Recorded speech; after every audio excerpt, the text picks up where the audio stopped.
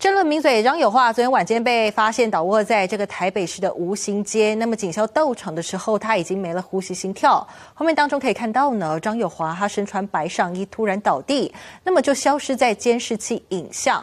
救护人员实施 CPR 以及 AED 救治，一度恢复微弱的呼吸、心跳，但是没有意识，由救护人员送医急救。